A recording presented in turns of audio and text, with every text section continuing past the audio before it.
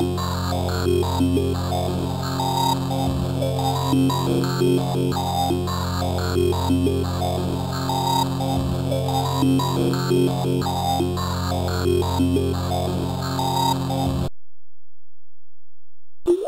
it is Miller time.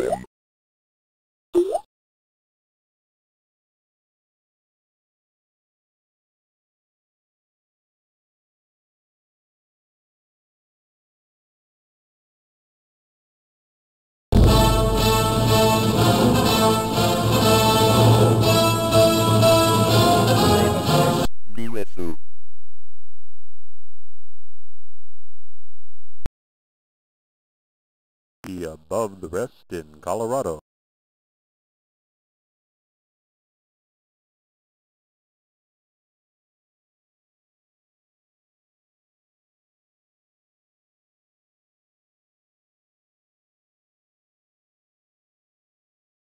Engineering to Captain Kirk. Kirk here. What is this, Scotty? Ready to try it when you are, sir.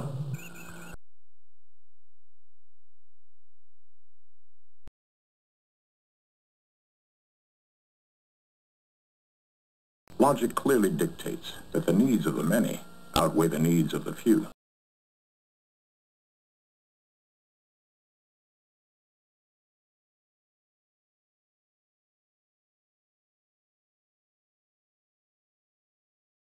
Take us back to where we're supposed to be, Mr. Sulu. Walk back to one. Walk back to one.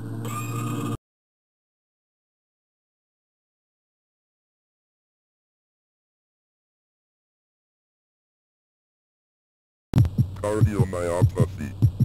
I had never heard of it before, but there it was, listed as a form of heart disease that failed not one or two, but all three of the artificial heart recipients. A little research produced some interesting results. According to an article in the November 8, 1984 New England Journal of Medicine, cigarette smoking causes this lethal disease that weakens the heart's pumping power. While the exact mechanism is not clear, Dr. Arthur J. Hart speculated that nicotine or carbon monoxide in the smoke somehow poisons the heart and leads to heart failure.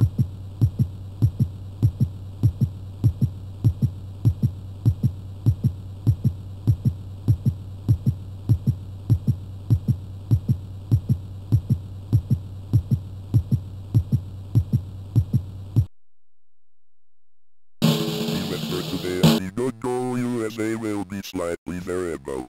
It will be another, you know, like, glorious day on the west coast.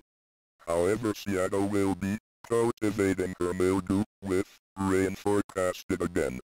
The southwest will be sizzling, while the central plains will be basking in mild temperatures. The Mississippi Valley should be on the alert for severe thunder shower activity. And for y'all, in the sunny south, there will be another muggy day on the veranda.